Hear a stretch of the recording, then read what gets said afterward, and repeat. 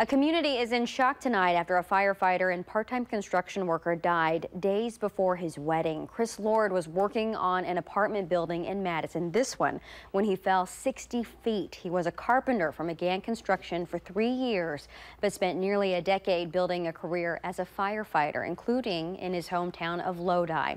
As Matthew Simon found, the department there is hoping to find solace in numbers. At this point, we just kind of package it away and put the black ribbon on there. The black ribbon holding on to the pieces of Lodi firefighter Chris Lord's uniform. Can't be real. Is how, for now, Chief Bobby Annan says his 25 volunteers are holding on to the 25-year-old. I don't feel like that this this is real. You know, it's going to take a while to process the fact that every time the alarm goes, we're not going to see Chris anymore. Those who loved him say Chris Lord stood out. He was the tallest firefighter. He was the all around great guy who loved being a firefighter so much he wore Lodi's logo even when he was not working. That's how proud he was to be here. And he was always keeping everyone laughing, even as he recently completed rope training. Sense of humor always made you laugh. But when times were serious, Lord's friends say so was he. Now that really good buddy they could always count on is suddenly gone.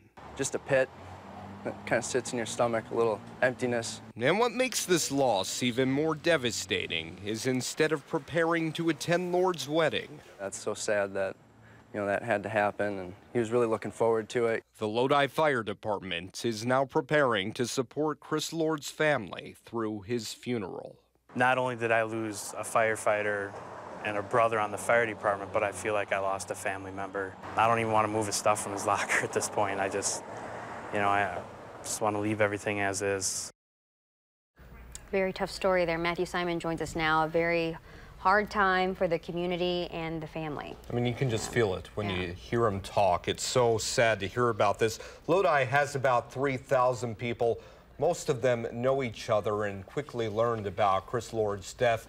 The chief had known Chris since, Michelle, he was eight years old. Oh my gosh. Um, I know this is also pretty uncharted territory for the fire department as well. Right, three decades, the chief says he doesn't know about anybody on active duty dying. Very difficult for them, at least 30 years since that's happened.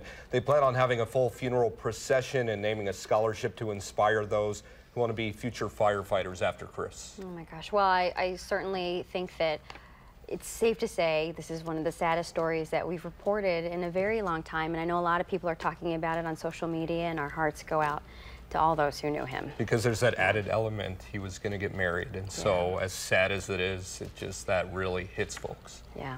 Oh, okay. Matthew, thank you for that report. We do want to tell you that Chris's visitation will be this Thursday from 3 to 7 at the Gunderson Funeral Home. That's also in Lodi. A second visitation will be held the next morning at 10 at the First Lutheran Church in Lodi with a funeral service to follow right after.